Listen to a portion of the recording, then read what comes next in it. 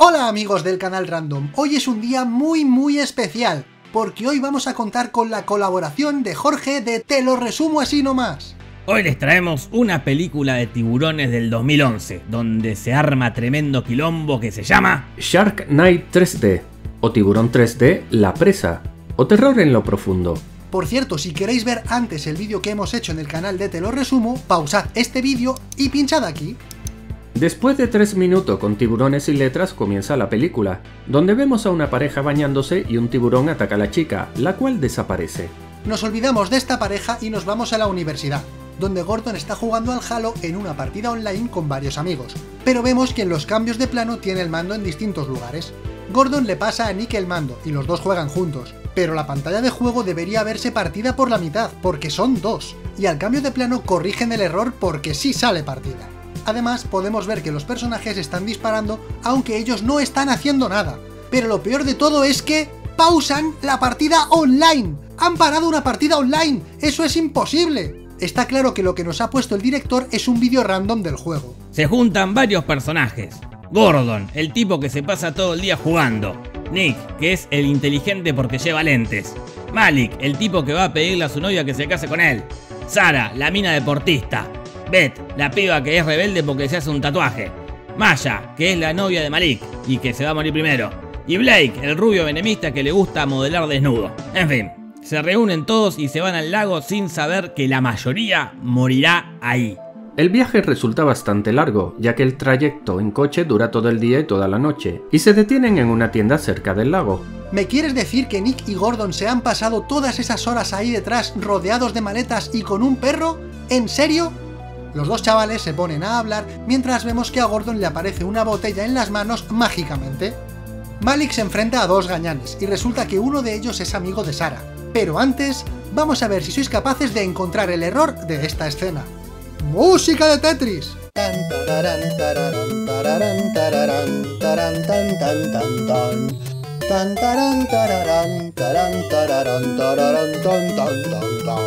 ¡Eso es! Malik sujeta la puerta del maletero con su mano derecha, pero al cambio de plano lo hace con las dos. ¡Realismo! Es que no me lo creo, tío, ¿cómo es posible que lo hayan hecho tan mal? También podemos ver que entre plano y plano, el hombro izquierdo de Maya pasa de estar destapado a estar cubierto. Para llegar a la casa del lago se suben a una lancha que conduce Sara, pero de repente llega la policía y la chica en lugar de detenerse se lo toma como una carrera. Parece que no pasa nada malo porque el sheriff es amigo de Sara, el cual se toma una cerveza de un trago a pesar de que está en servicio. Una vez allí, los chicos se divierten mientras el rubio menemista se pone bronceador en las bolas. Malik está divirtiéndose en el agua, pero hay un tiburón al que no le hace tanta gracia y ataca al pibe que cae en mitad del lago. El rubio menemista debe ser un poco borracho, porque lleva una cerveza en cada mano aunque al cambio de plano tiene las dos en su mano izquierda, y al siguiente las cervezas han desaparecido. ¡Borracho! El tiburón se ha llevado uno de los brazos de Malik, pero a pesar de todo, el chico ha conseguido llegar nadando hasta la orilla, y ha llegado antes que la lancha, a pesar de que le falta un brazo y que estaba en mitad del lago. Pero si esto os parece extraño, más raro es aún que Nick se tire al agua y que sea capaz de encontrar el brazo de su amigo en el fondo del lago. ¡Venga ya, hombre! Además, a pesar de llevar el brazo, nada a más velocidad que el tiburón, y antes de salir del agua, ¡el brazo ya está arriba! El plan es en ir en lancha hasta el hospital, pero la sangre atrae al tiburón que consigue lanzar a Maya al agua, la cual se agarra a la parte trasera del flotador que le tiró Nick, pero al cambio de plano está agarrada a la parte delantera. Sara no consigue controlar la lancha, la cual se dirige casualmente al único surtidor de gasolina que hay en el muelle, que explota a lo Michael Bay. Los chavales lanzan bengalas para pedir ayuda, pero el sheriff anda tocando una batería invisible y en su lugar acuden los gañanes que aparecieron en la tienda, que se ofrecen a buscar a un cirujano y a los que acompañan Gordon y Beth. Mientras tanto, Malik se entera a través del rubio menemista que Maya murió. Red les cuenta que seguramente el tiburón llegó hasta el lago debido a los huracanes. Posiblemente ese idiotez inspiró a los de Yarnado, pero en lugar de huracanes, un tornado. ¿Quién sabe? Malik aparece con una lanza que no sabemos de dónde sacó y se mete al agua esperando que aparezca el tiburón que está recaliente, imagínate, un tiburón se comió a su novia. Pero vamos a ver, el tío este andaba medio muerto, había perdido mucha sangre, y ahora está en el agua con una lanza para cazar un tiburón ¿Qué podría salir mal, no veo fisuras en su plan. Si la escena ya resultaba ridícula, se lía puñetazos con el tiburón y Nick le ayuda a sujetarlo, pero al cambio de plano el chaval se teletransporta. Total, que le clava la lanza y el tiburón de goma muere. Los abrazafarolas estos disparan a Gordon para que caiga al agua y... ¡Vaya! Nada a más velocidad que el tiburón a pesar del disparo. Por cierto, ¿dónde está la herida de bala? Se supone que le dispararon en este hombro, ¿no? En fin, que el tiburón salta como un delfín y mata a Gordon. Malik está peor y... ¿Pero cómo han llevado al tiburón hasta tierra firme? Con lo que pesa un bicharraco así. ¿Y para qué? ¡No tiene sentido! Sara les dice que puede que los tiburones se hayan colado al abrir las compuertas por los huracanes, pero nadie la cree. Entonces Nick se pone a buscar y encuentra una cámara de video pegada al tiburón martillo, pero hablemos de eso en la cadena de cosas inexplicables que van a favorecer al guionista. ¿No le molesta la cámara del tiburón? ¿Cómo se la pusieron? El rubio enemista se lleva a Malik en una moto acuática y al momento aparece el sheriff. ¿Cómo es que no se cruzaron? Al principio vimos que a Beth le hicieron un tatuaje. ¿Ya se le curó? Con un tatuaje recién hecho, podés tirarte al agua como si nada. Y a Red no le duele la herida que le hizo la chica con la navaja. ¿Y qué pasó con la pareja del inicio de la película? ¿A nadie le importa la desaparición de la chica? Bueno, todas estas preguntas jamás encontrarán respuesta, ¿está claro? Tiran a vez al agua para que se la coman unos peces carnívoros, mientras los gañanes la graban. Resulta que han montado una especie de negocio donde venden los vídeos de los asesinatos de los jóvenes. Malik quiere ser un héroe y se sacrifica para que Blake pueda huir, pero ojo al croma tan cutre que han hecho en esta escena.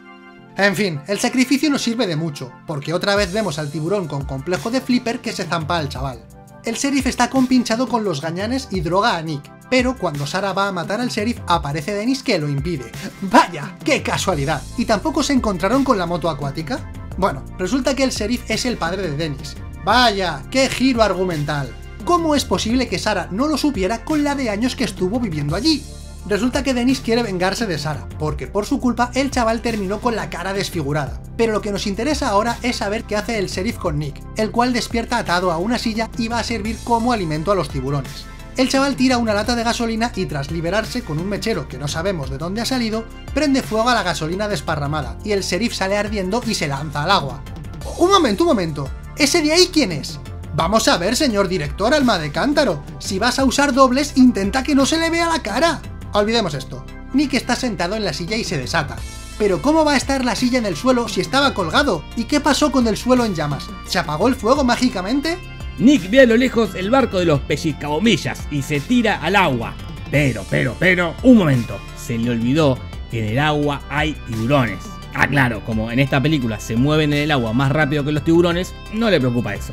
No sabemos cómo, Nick tiene ahora una pistola con la que amenaza a Red, pero recordemos que en su muñeca tenía el precinto con el que lo ataron. Y ahora no lo tiene. ¡Realismo! Dennis apuñala a su compañero y Nick le dispara y le tira al agua. Pero luego vemos que ya no tiene la pistola. A Dennis parece que no le duele la herida del disparo y suelta la jaula donde está la chica. Así que Nick agarra un arma e intenta liberar a su amiga Sara de la jaula. Pero el arma... ¡Ha desaparecido! Total, el tiburón se come a Dennis. Nick mata al tiburón y entre él y el perro salvan a la chica pero al perro lo tiraron al agua por la noche. ¿Lleva horas nadando en el agua? ¿Y no le ha atacado ningún tiburón? ¿Son alérgicos a la carne de perro o cómo va esto? Al final, Nick consigue salvar a Sara y se besan. Ah, sí, y disfrutarán de su amor heterosexual si este tiburón no se lo impide.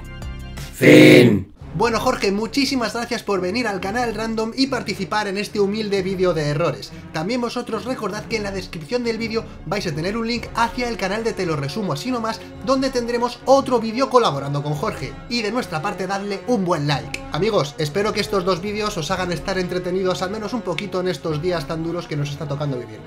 ¡Un besazo para todos! ¡Hola! Soy Samuel L. Jackson. ¿Conoce la iniciativa Los Vengadores?